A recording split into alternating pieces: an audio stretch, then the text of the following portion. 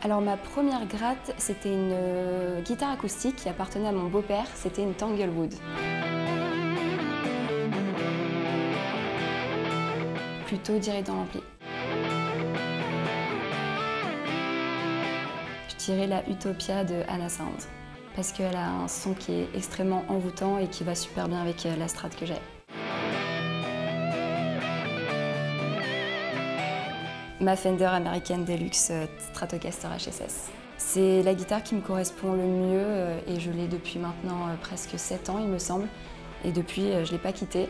Et c'est une guitare que j'adore pour sa polyvalence et pour ses sonorités super variées pour son confort de jeu aussi.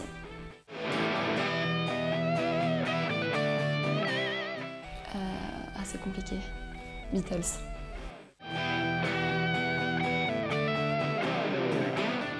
Jimmy Page. J'ai plus été influencée par Led Zeppelin que par Jimi Hendrix.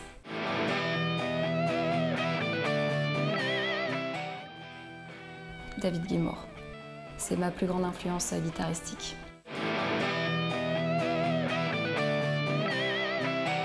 Je dirais Nancy Wilson, parce que son groupe était assez révolutionnaire dans les années 70 euh, et que c'était euh, le seul, euh, enfin c'est un des seuls girls band que je peux citer encore à l'heure actuelle. En tant que guitariste, j'ai envie de dire Starway to Heaven. Parce que c'est mon morceau préféré et j'assume pas forcément parce que je sais que dans les magasins de musique notamment, euh, les gens euh, n'apprécient pas trop qu'on joue Starway to Heaven.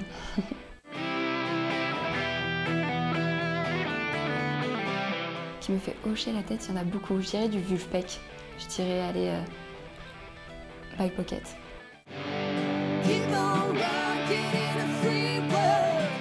Cory Wong.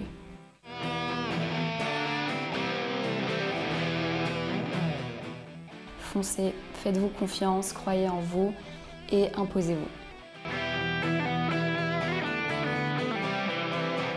Donc en ce moment, je suis pas mal influencée par du style euh, néo-soul. Du coup, je reprends pas mal de, de plans à la Tom Misch.